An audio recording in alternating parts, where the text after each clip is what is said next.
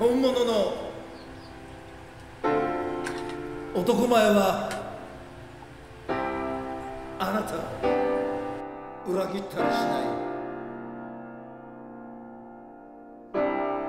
男前豆腐店こんにちは筋肉料理人です。男前豆腐店の雷豆腐。これを使って雷豚汁を作ります。雷豆腐をパックから出します。まずはフィルムを剥がします。そしてパックの両側をつまみます。そして下をまな板にトントントントントンと当てると取り出せます。取り出した雷豆腐を切ります、えー、4等分に切りましょう。こんな感じです。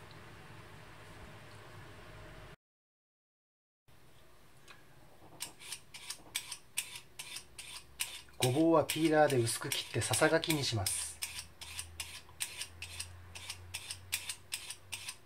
そして水にさらしておきます。じゃがいもを切ります。じゃがいもは1センチの厚みの一口大に切ります。切ったら水につけておきます。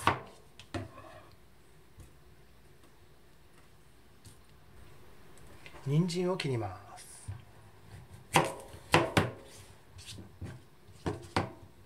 人参は3ミリから4ミリぐらいの厚みに切ります。半月もしくは、えー、いちょう切りにしましょう。大根を切ります。大根はいちょう切りにします。人参より少し厚めに切ります。豚バラ肉の薄切りは一口大に切ります。こんにゃくはレンゲで小さくちぎります。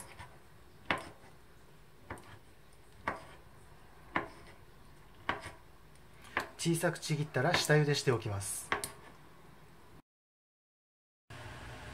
鍋にごま油を入れます。弱めの中火にかけます。そして、えー、ごま油を鍋にしっかりなじませて温めます。豚バラ肉を入れます。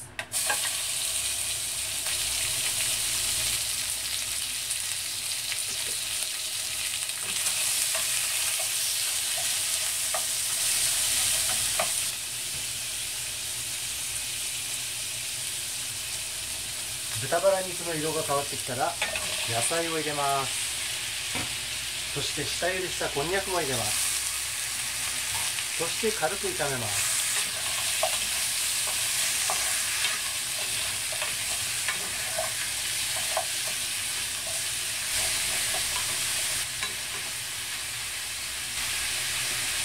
野菜を軽く炒めたらだしを入れます。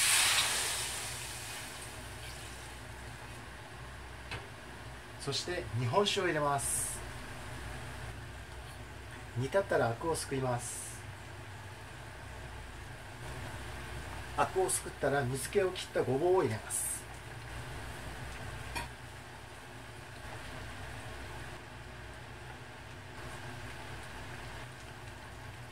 余分な油をすくいます。野菜が柔らかくなったかどうか確認します。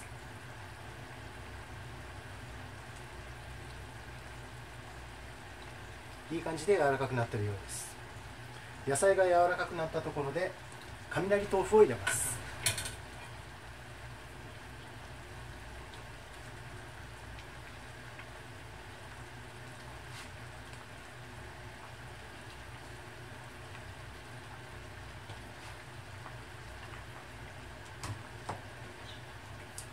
雷豆腐を入れて温めます。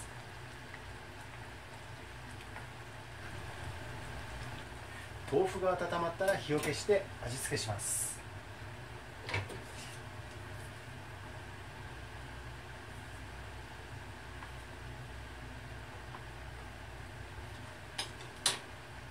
お好みで味噌を溶き入れます。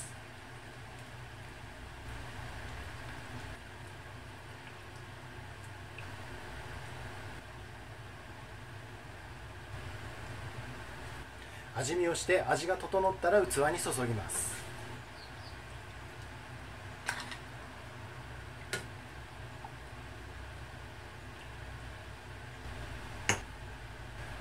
雷豚汁の完成です。本物の男前はあなたを裏切ったりしない。男前トップ10男前豆腐。おいえ